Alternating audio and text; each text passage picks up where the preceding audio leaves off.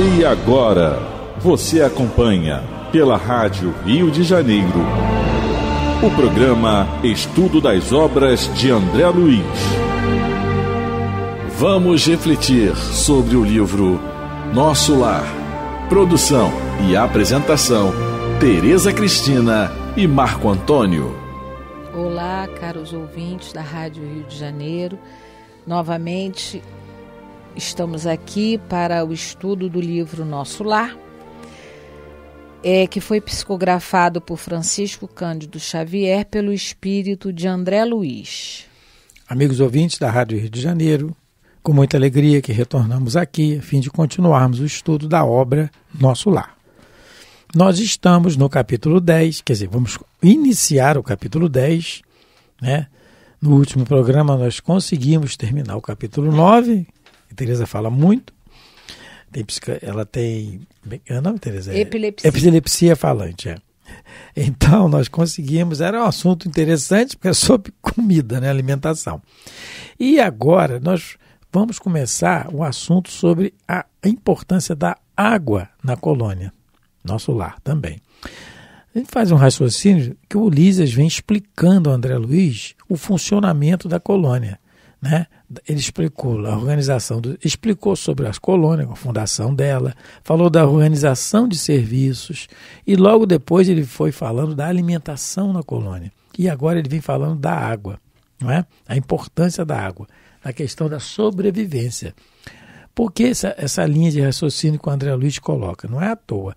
Ele vem dizendo da, da necessidade que os espíritos que estão ainda nessa colônia têm de sobreviver. Ué, mas já não morreram? Sim. A questão da morte a gente já vai desmistificando, claro. Uma continuidade da vida, mas a questão de sobrevivência. Não como nós aqui, ainda num corpo denso. Mas sim, sobrevivência sim, sobrevivência de se sentir bem para trabalhar. Né? Então a importância agora que ele vai colocar é da água. Então, o título é No Bosque das Águas. Quem lê o livro a primeira vez, como eu como aconteceu comigo, impressiona, meu Deus, tem comida agora, vai ter água também? Vai, vai ter cachoeira, vai ter rio, vai ter. É, vai ter o depósito das águas lá para tratamento? Será que tem? Tem SEDAI. Tem SEDAI lá? Agora é Águas do Agora Rio. é Águas do Rio, né? Tem, na época que eu li era SEDAI. Tem SEDAI, e aí, antes da gente iniciar no capítulo que ele vai dizer aqui, ele vai falar várias coisas assim de muito, para muitos ainda novidades ou coisas que podem surpreender, nós podemos ler no capítulo, vamos nos reportar ao livro A Gênese de Allan Kardec, no seu capítulo 14, né, dos fluidos. Aí no seu capítulo 14, no item 13, Kardec coloca a ação dos espíritos sobre os fluidos, criações fluídicas. Então, tudo isso que nós estamos lendo é baseado, são, é, é baseado em criações fluídicas. Os espíritos criam as coisas através do fluido. Que fluido é esse? O fluido cósmico universal, universal, que existe em toda parte. E aí ele diz assim. Que Paulo seu... falava o hálito divino. Isso, o, hálito divino. Vivemos exatamente. e nos movemos no ato de, divino. No hálito divino, não é? Isso. isso, muito bom, isso mesmo. E Kardec coloca assim no item 13. Vamos ler o 13. Os fluidos espirituais são, a bem dizer, a atmosfera dos seres espirituais. O elemento de onde eles tiram as matérias, os materiais sobre que operam.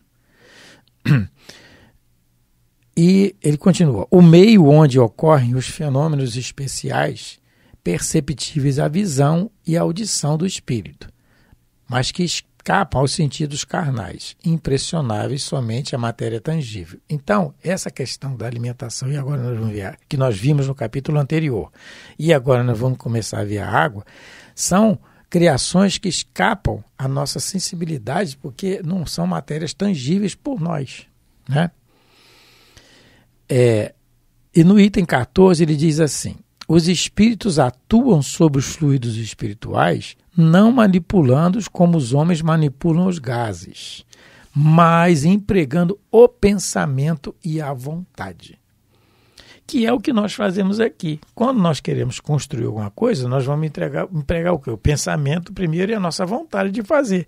Mas foi pensado antes, foi idealizado antes. Uhum. Mas aí, para a nossa situação, nossa matéria grosseira, condensada, nós temos a argamassa, né? temos o barro para fazer o tijolo e etc. Então, nós usamos a matéria nossa daqui. Ele continua o raciocínio. Para os espíritos, o pensamento e a vontade são o que é a mão para o homem. Pelo pensamento, eles imprimem àqueles fluidos tal ou qual direção. Os aglomeram, quer dizer, juntam, combinam e, ou dispersam. E aí, quando ele fala isso, nós podemos reportar diretamente à água. O que, que é a água? O que é uma molécula de água? O que é uma molécula? É a menor partícula de uma substância. Então a gente pega uma molécula de água, uma menor partícula, o que, que ela tem? Duas moléculas de hidro... dois, dois átomos. átomos, desculpa, de hidrogênio e um átomo de oxigênio. H2O. Que é o famoso H2O. Que não é, que não é aquele refrigerante, refrigerante não. Aquilo não é água, é aquele refrigerante. Então, dois, dois átomos de hidrogênio e um de oxigênio. E nada mais é do que ele está falando aqui de uma aglomeração. Então foi feita uma aglomeração e tem água. Nós temos a nossa água aqui, que é a, é a, e nós temos a água do plano espiritual, que é pela vontade deles que se formou. Pronto, resolvido o problema, a questão de se impressionar porque que tem água no plano espiritual. E tem. Não é? Agora, se você quiser acreditar ou não, aí tudo bem, aí é de cada um. Não é? Então vamos iniciar o capítulo. Se for só a título de da gente fazer uma, né, é, uma entrada nesse raciocínio, que o que, que é? É a grande oficina, o laboratório da vida espiritual, né? que tem muito bem detalhado também, gente, no livro dos médios, tá? Né, o laboratório do mundo invisível. A Kardec coloca vários exemplos ali. Mas vamos lá, né, Tereza? No bosque das águas. Dado o meu interesse crescente pelos processos de alimentação, Lísias convidou Vamos ao grande reservatório da colônia. Lá observará coisas interessantes. Verá que a água é quase tudo em nossa estância de transição. Ele diz aqui estância de transição, a gente uhum. já lembrou em outros programas, que a colônia Nosso Lar é o abrigo para aqueles espíritos que precisam reencarnar na Terra, principalmente. Tem que voltar para a Terra. Só uma, uma percentagem ínfima de habitantes é que vai conseguir habitar outras esferas superiores, mas a maioria é vai ter que reencarnar. Por isso que ela é de transição. Ela não é alguma coisa já uma morada fixa. Todo mundo que fica lá vai ficar lá, vamos dizer assim, para sempre. Só vai sair de lá em missão. Não é isso. Todos que habitam nosso lar e vão necessitar reencarnar, vão necessitar voltar a receber um corpo de carne porque estão ainda em evolução, estão ainda em aprendizado. Então, muitos de nós poderemos ter vindo de nosso lar ou de outra colônia parecida é, o, ou de algum posto de socorro nós somos também. sempre tutelados de alguma de colônia de algum posto de socorro de algum lugar de alguma é. colônia até algum, algum lugar das trevas. A gente pode realmente, alguns de nós, ter saído de colônias que são realmente localizadas nas trevas, um lugar muito pesado, muito né, desequilibrado. Mas nós temos sempre uma ligação com algum lugar. Ninguém está ao desamparo na, na criação divina. E essa questão da transição que, que a Teresa está colocando, gente, é quase todos nós em humanidade essa necessidade. No livro Obreiros da Vida Eterna, também da psicografia de Francisco Cano Xavier, também ditado por André Luiz, Obreiros da Vida Eterna, um personagem chamado Asclepio, que está ali no livro. Isso. É um espírito de alta envergadura que vem a nosso lar fazer uma palestra é educativa, que tem sempre, né? Como o governador, no capítulo passado, nós vimos que ele pede auxílio para esclarecimento, essas visitas, esse intercâmbio, existe sempre entre as colônias. O nosso Sim. lar é o exemplo que nos dá isso. É no capítulo qual? Capítulo 3. É o 3? O Visitante Sublime, não é isso, Isso. o título? É. O Sublime Visitante. O Sublime Visitante. É só para. Né? É isso mesmo, a mesma coisa. Então, ela, ele vem, eu acho que vem, e ele vem fazer uma palestra, vem educativo e tal. E o André Luiz, ele, só que a materialização dele para se, ser, para se fazer visto pelos habitantes ali da colônia, é, parece que é no busto, né, para cima, é um pouco, não é o corpo inteiro, e precisa de vários Médios. médios para doar fluido para aquele, porque é muito sutil. E o André Luiz vê muita luz, muito brilho, ele fala assim, ele questiona, mas essa é a mais alta evolução do universo? Da Ele- Terra, Da né? Terra? Ele pergunta se fica maravilhado. E aí o, o instrutor fala para ele, não, ele, ele ainda é um espírito ligado à Terra As esferas da as Terra. esferas da Terra, porque tem as esferas. O nosso lar está na periferia do umbral e tem as outras esferas mais superiores e tem as mais inferiores, como a Teresa colocou, das trevas. E tem as mais superiores. E esse personagem, o Asclepio, é ligado às mais superiores, às mais sublimes, ligadas à Terra ainda. E ele coloca assim, só para a gente colocar nessa questão do raciocínio de transição, né? Ele coloca assim, que ele pode reencarnar, na, numa- esses espíritos como ele reencarnam na Terra numa média, ele botou uma média, não é uma data fixa, de 800 em 800 anos, se quiser. Quer dizer, na questão de não há necessidade dele encarnar ainda. São esses tipos de espíritos. Mas geralmente eles vêm, geralmente não, eles vêm sempre para nos auxiliar. No caso, por exemplo, Dr. Bezerra de Menezes, né? quando completou 50 anos de trabalho no plano espiritual, foi feita uma reunião e ele já foi foi é, permitido ele ascender a mundos superiores para encarnar e, e, encarnar em outro. e ele pede a Maria que não, que ele continuasse aqui no trabalho, né? Enquanto houvesse lágrimas Lágrimas, derramadas isso. aqui na Terra. né? A opção dele, não. Só que quando o espírito atinge uma elevação como o Dr. Bezerra, como o Asclepio e outros, a vontade dele é a vontade de Deus, é de Jesus também, coincide. É, né? Eles já Quando- sabem fazer. Quando Jesus fala que- é a vontade de Jesus coincidindo com Deus, quando ele fala eu e o Pai somos um, nessa questão da afinidade, que não é ainda nossa. Então, esses espíritos também, é, no final das contas, eles encarnam, mas para nos ajudar. É, o caso- é, Paulo falava isso, Isso. né? Não sou eu mais que vivo, mas é o Cristo que vive em mim. Chegou mas ele não ponto. era Cristo. Ele não era Como Cristo. Jesus, Isso. quando falou Pai Nosso, né? É, é, ele, né, eu e o Pai somos um, é a mesma coisa. Ele, se, ele sabe fazer já a vontade de Deus, como Paulo já sabia Já não fazer. sou eu quem vivo, é o Cristo que vive em mim. É, e, e Paulo era Cristo? Não, Não. era. Como Mas é, o é a não- mesma frase, né? É. Porque Paulo já cumpria a vontade de Jesus Cristo. Quando Jesus diz que eu e o Pai somos um, ele não está dizendo que ele é Deus. Ele está dizendo que ele já cumpre a vontade de Deus integralmente. Como Madre né? Teresa dizia, eu sou um lápis na mão de Jesus. Ele na mão de escreve- Deus. Na mão de Deus, né? O que ele quer, eu escrevo. Já Como o sabe. Chico falava, eu já não sei quando é eu, quando é Emmanuel. É, ele também já não. Já a interação era tão é grande, tanta, né? né? É. Mas, mas vamos lá. Então, a, Continuando, então, né? continuando, né? Pode continuar, Tereza. Ler? Pode ler, pode ler. Ter- estamos no terceiro parágrafo do capítulo 10. Curiosíssimo, acompanhei o enfermo sem vacilar. O enfermo, o enfermeiro, Enfermeiro é desculpe. É, o enfermo é ele. Curiosíssimo, acompanhei o enfermeiro sem vacilar. Olha, gente, olha o detalhe aqui. Olha, curiosíssimo. É bom, né? O interesse do André Luiz é sensacional. É o nosso repórter. Curi- a ele- curiosidade é uma virtude, Uma virtude. não é a questão da. de- Agora, o problema é a intenção. Porque às vezes você quer ser curioso para saber da vida alheia. Aí é fofoca. Aí é fofoca. Aí, aí tá errado. Aí já é outra ele coisa. não, ele era curioso, né? Ele, Exatamente. Várias situações nós vamos ver isso, é, né? do- a curiosidade é uma virtude. Até porque é por isso que deve ter sido um dos motivos de sido escolhido para nos reportar a vida no mundo A vida, espiritual, é. né?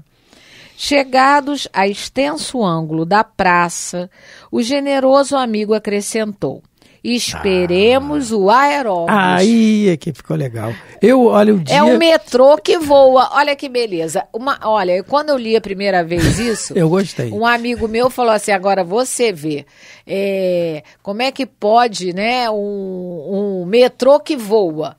Aí eu fui pesquisar se. E, porque olha só.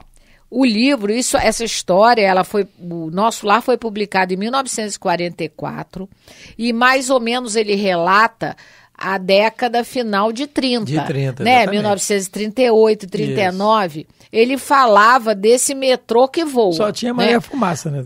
É, aqui no Brasil, imagina, Então, quando tinha, Quando né? tinha bonde. Mas na China, né, na China, existe um trem que esse trem, né, é o, é o, me- o maglev, né?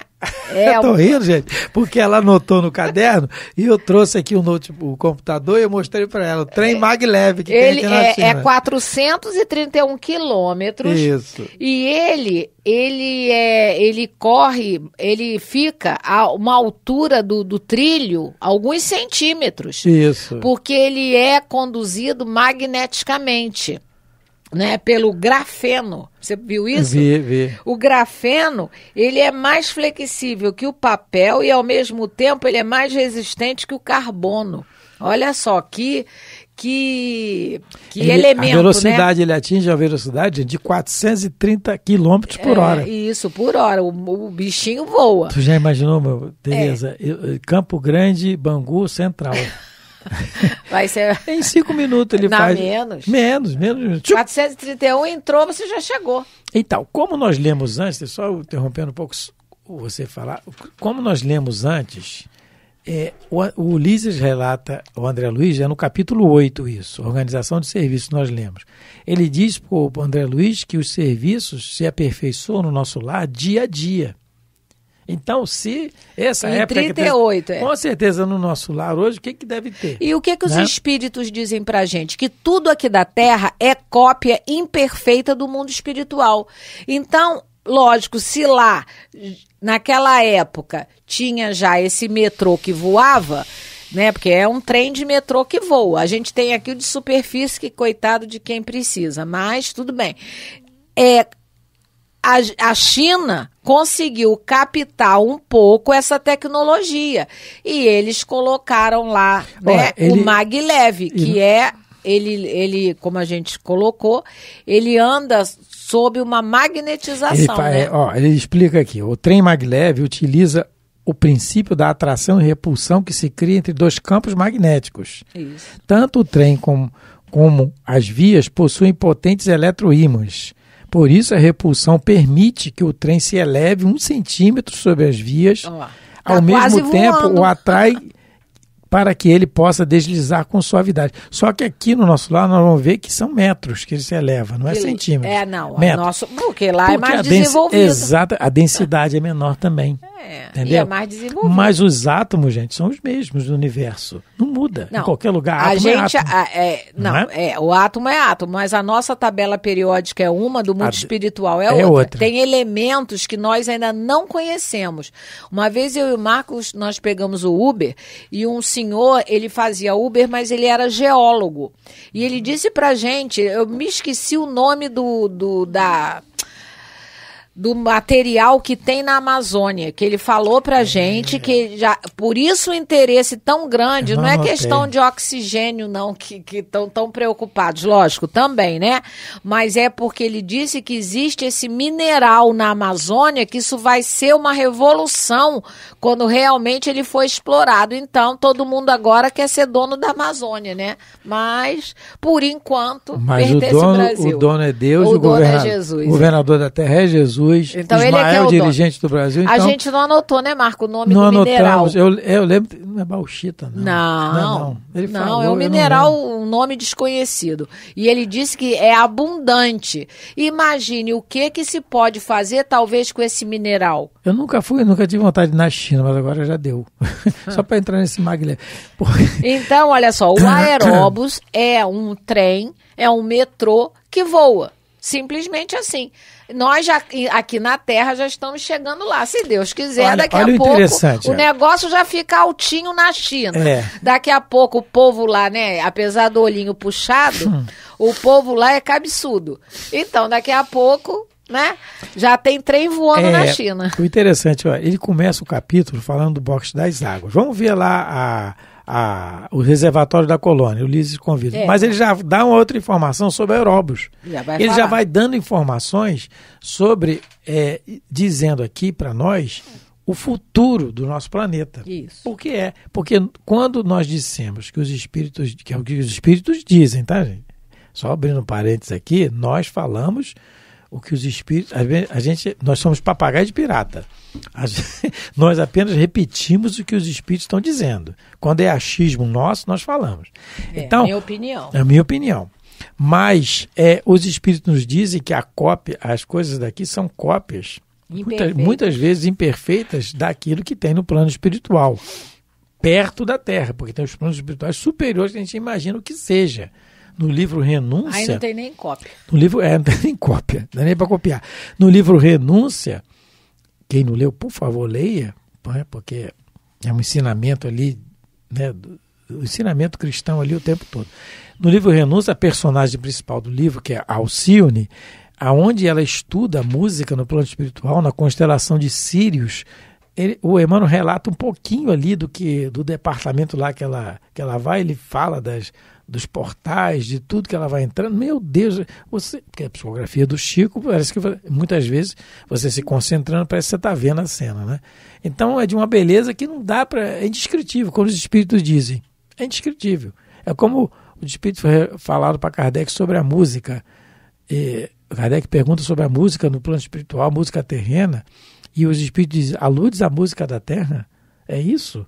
Não tem comparação, meu filho. Fala para Kardec. Se eles ligassem o rádio agora para escutar Deus as do céu. músicas, aí. Só Jesus. Então, quando ele, como que, é que nós estamos colocando? Quando ele dá essas informações, por isso que o Espiritismo também, gente, é o consolador.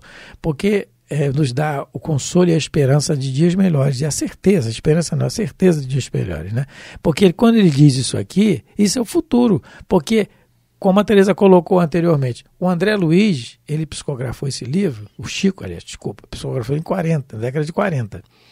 O André Luiz dá informações da década de 30, que só tinha bondes, Maria Puxado Fumaça, cavalo. puxar a burro, cavalo, principalmente aqui no Brasil. Né? É. Em países desenvolvidos já tinham os trens maiores, já tinha avião.